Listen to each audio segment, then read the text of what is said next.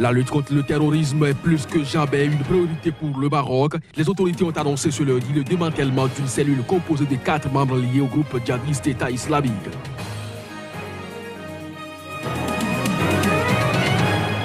Alger a dénoncé dimanche les propos irresponsables de Rabat qui a de nouveau accusé l'Iran d'avoir aidé militairement avec l'appui d'Alger le front Polisario, des accusations liées par le territoire convoité par le Maroc. Le procès des compagnies pétrolières Eni et Shell, qui s'est ouvert lundi à Milan, a été renvoyé au 20 juin prochain. Les deux compagnies sont soupçonnées de corruption dans l'attribution de contrats pour un bloc offshore au Nigeria. C'était là l'essentiel à développer dans cette édition, mesdames, messieurs. Bonjour et bienvenue. Alger a dénoncé dimanche les propos irresponsables de Rabat qui a de nouveau accusé l'Iran d'avoir aidé militairement avec l'appui de l'Alger le Front Polisario, le mouvement indépendantiste du Sahara occidental, territoire revendiqué par le Maroc, avait lié pourtant ces accusations. Reportage. Rabat a annoncé le 1er mai la rupture de ses relations diplomatiques avec l'Iran, l'accusant d'avoir livré, via son allié, le Hezbollah libanais, des armes au front Polisario soutenu par l'Algérie, ce que l'ensemble des intéressés ont démenti. Dans une interview parue dimanche, le ministre marocain des Affaires étrangères Nasser Bourita a accusé Alger d'avoir apporté couverture, soutien et appui opérationnel à des rencontres dans la capitale algérienne entre responsables du Hezbollah et du Polisario. Au lieu de produire les preuves irréfutables qu'il prétend détenir, le ministre marocain a choisi de poursuivre sur la voie de la mystification et de l'affabulation, a dénoncé dans un communiqué le porte-parole du ministère algérien des Affaires étrangères. L'Algérie tient à exprimer sa ferme condamnation et son rejet total des propos irresponsables tenus à son encontre, a-t-il ajouté, fustigeant des accusations infondées et injustifiées et une virulente campagne du Maroc contre l'Algérie. Le porte-parole a également réprouvé avec fermeté les propos de Bourita sur le rôle de l'Algérie au Sahel. Dans son interview, le ministre a implicitement accusé Alger d'être un acteur de déstabilisation dans la région.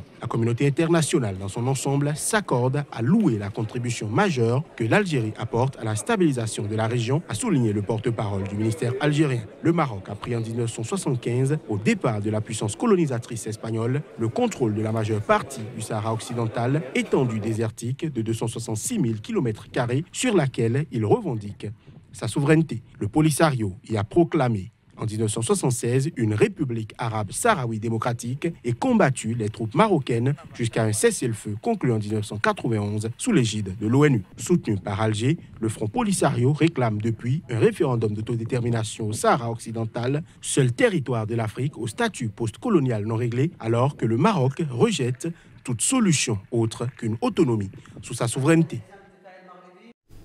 On reste avec le Maroc où la lutte contre le terrorisme reste plus que jamais une priorité pour le gouvernement. Les autorités ont annoncé en effet ce lundi le démantèlement d'une cellule composée de quatre membres liés au groupe djihadiste État islamique. Les détails.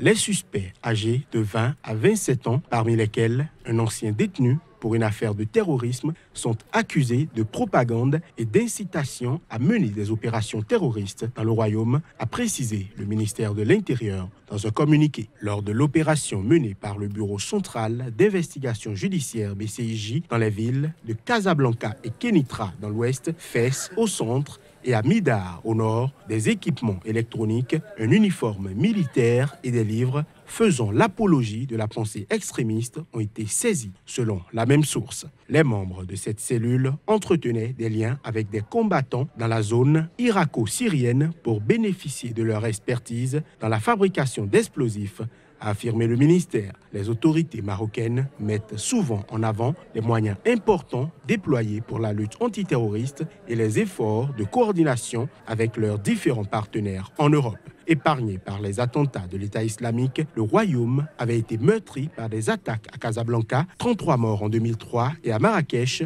17 morts en 2011. Depuis, la législation marocaine a été renforcée et des dizaines de peines de prison ont été prononcées dans des affaires de terrorisme. Les autorités du royaume annoncent fréquemment le démantèlement de cellules terroristes, même si les chiffres sont en baisse de 21 en 2015 à 9 en 2017, selon un récent bilan officiel. Le procès des compagnies pétrolières Eni et Shell qui s'est ouvert ce lundi à Milan dans le nord de l'Italie a été renvoyé au 20 juin prochain.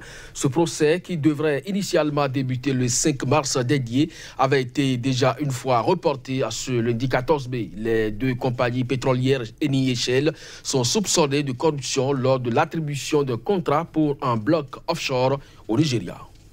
C'est la deuxième fois que ce procès fait l'objet d'un report. Initialement prévu pour débuter le 5 mars dernier, il avait été reporté à ce lundi 14 mai dans l'optique d'être transféré à une autre session pénale moins surchargée. Mais finalement, elle a été renvoyée au 20 juin prochain par le tribunal de Milan. Le président de la Chambre a estimé judicieux d'attendre un arrêt de la Cour italienne de cassation pour lancer le procès. En effet, cette dernière doit se prononcer le 12 juin prochain sur un recours déposé par Shell au sujet de la régularité d'une décision concernant les prévenus du groupe. L'audience du 20 juin sera consacrée à la constitution des partis civils. La justice soupçonne le versement de pots de vin lors de l'attribution en 2011 pour 1,3 milliard de dollars d'une licence pour l'exploration du bloc pétrolier offshore OPL 245 au groupe italien Eni et à son homologue anglo-néerlandais Shell. Mais les deux groupes mis en cause contestent fermement toute corruption. Il faut dire que le groupe ENI est déjà jugé à Milan dans un autre procès pour corruption en Algérie et visé par une enquête similaire au Congo.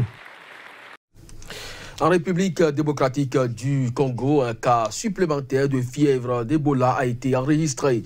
Pendant ce temps, l'Organisation mondiale de la santé a annoncé pour mercredi ou jeudi prochain l'arrivée de vaccins pour essayer de circonscrire l'épicentre, l'épidémie plutôt. En attendant, une équipe de l'UNICEF s'est également rendue à l'épicentre de la maladie à Bikoro pour soutenir la lutte contre le retour du virus. Reportage. Un cas supplémentaire de fièvre d'Ebola a été enregistré en République démocratique du Congo, portant le bilan à 35 cas, dont deux confirmés. L'épidémie a été déclarée le 8 mai dernier par les autorités congolaises. L'Organisation mondiale de la santé, qui dit se préparer au pire des scénarios, a annoncé l'arrivée de vaccins en République démocratique du Congo pour mercredi ou jeudi, sans toutefois préciser le nombre de doses disponibles. Alors que le directeur général de l'OMS était en visite ce week-end en RDC pour soutenir la riposte à l'épidémie de fièvre Ebola, une équipe conjointe de l'OMS et de l'UNICEF s'est également rendue à l'épicentre de l'épidémie de fièvre Ebola à Bikoro. L'épidémie touche la région de Bikoro dans la province de l'Équateur, dans le nord-ouest, à la frontière avec le Congo-Brazzaville. Le 11 mai dernier, 34 cas d'Ebola ont été rapportés dans la zone ces cinq dernières semaines, dont deux confirmés, huit probables décès et 14 cas suspects. En Afrique du Sud, après l'attaque qu'a subi une mosquée à Durban, l'enquête avance. Un engin explosif a été découvert dans la dite mosquée, a indiqué ce lundi la police sud-africaine. Les détails.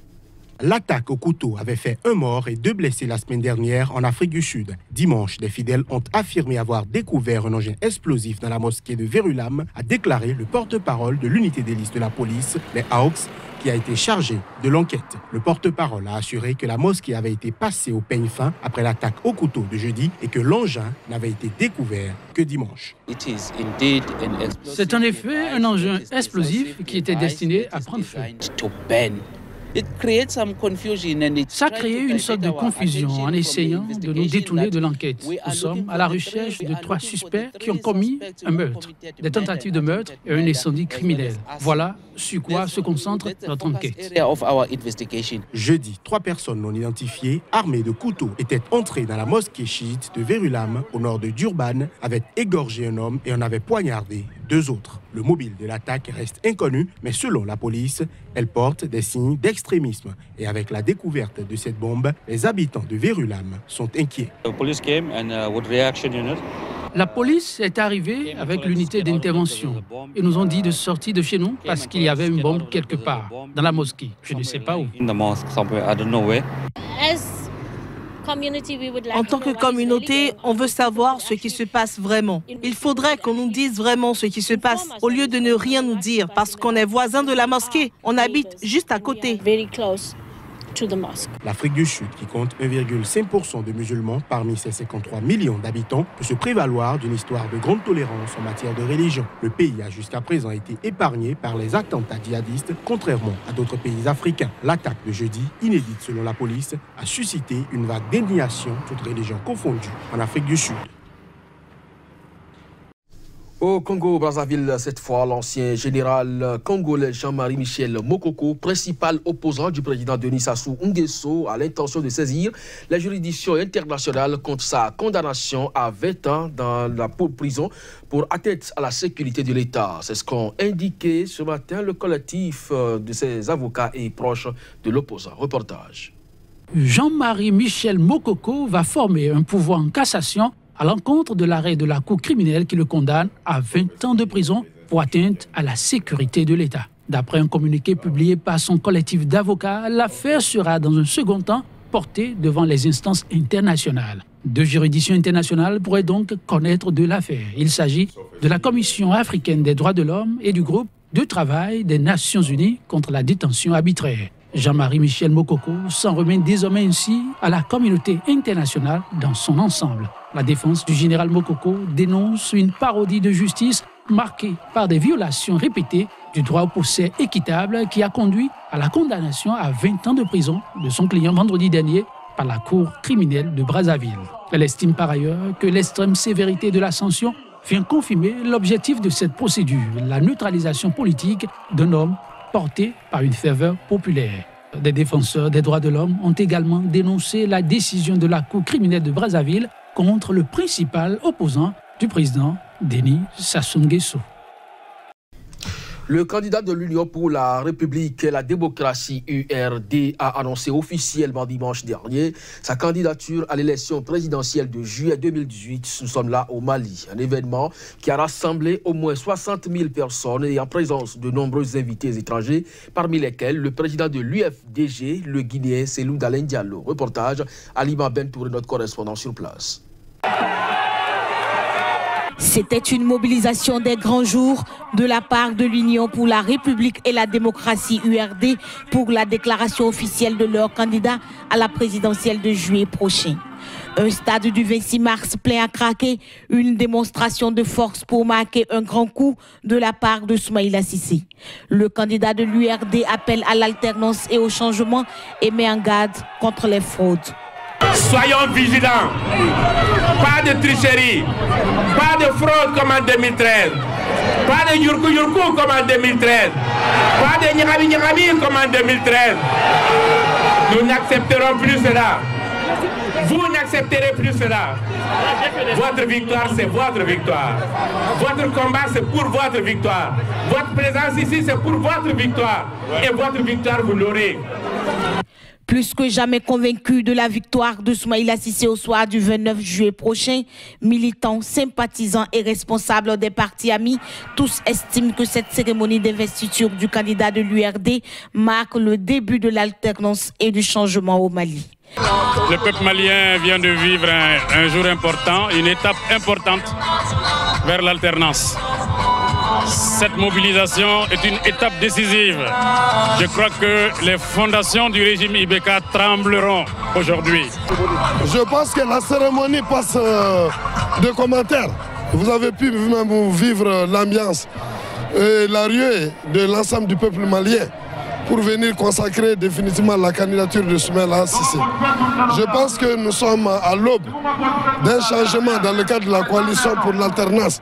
Le compte à rebours commence à l'URD et le candidat Soumaïla Sissé doit faire face au président Ibrahim Boubacar Keïta qu'il avait battu en juillet 2013 et qui vient justement de donner son quitus à la convention des partis politiques de la majorité pour briguer un second mandat au soir du 29 juillet prochain.